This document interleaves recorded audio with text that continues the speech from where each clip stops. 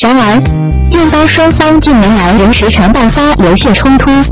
且双方均指责是对方违反的停火协议。就在近日，印巴边防部队再次爆发冲突，在克什米尔地区连续多日猛烈交火，双方在交火期间均有伤亡。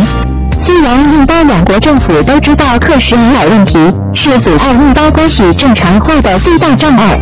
且双方围绕克什米尔问题已经进行过多轮的磋商，但这一问题一直未能得到有效解决。而为了在冲突中不吃亏，印巴双方多年以来一直大力发展各自的军事力量，大力扩充军备，甚至都发研发和装备了核武器。近年以来，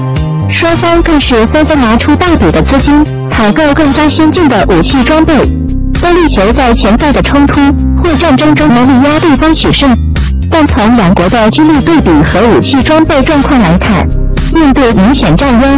这种差距随着时间的推移，目前还在变大。众所周知，印度空军历尽波折，终于在2016年以88亿美元的天价从法国采购了36架阵风战斗机。这款由法国达索公司生产的新一代战机，能够执行轰炸、对地和对海攻击攻击等多种任务，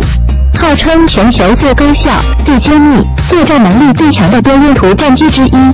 而首批阵风将在今年交付，印军飞行员已赴法国进行培训。在这批战机服役后，加上印军装备的上百架苏三零 Mk2 战机，将对巴基斯坦空军形成碾压之势。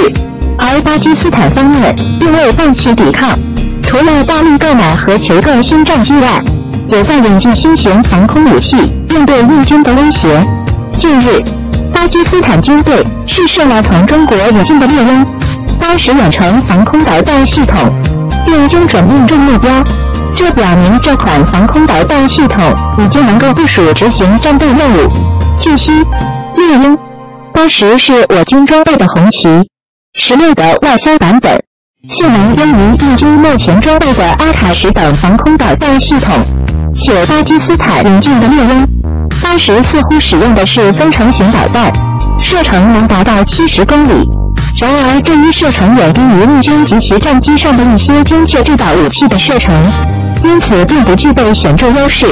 而印度军方将引进罗智 S 四百防空导弹，性能更优。由此来看，未来巴基斯坦军方未来必须要做好应对更加严峻局面的准备。